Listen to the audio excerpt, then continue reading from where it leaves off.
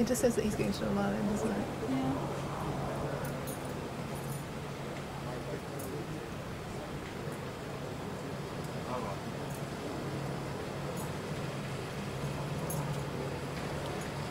It says on Tuesday morning, King Charles III and Okay.